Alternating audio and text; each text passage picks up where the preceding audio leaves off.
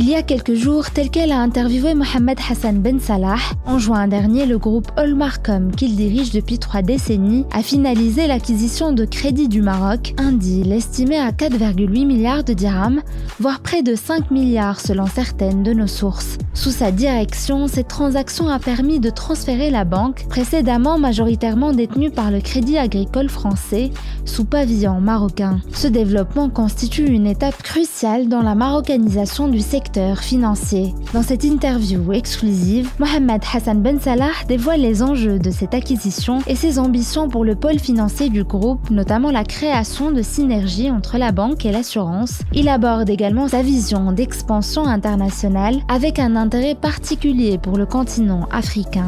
Pour découvrir l'intégralité de cette interview, abonnez-vous à telquel.ma pour retrouver en kiosque le numéro 1102 de Telquel de cette semaine.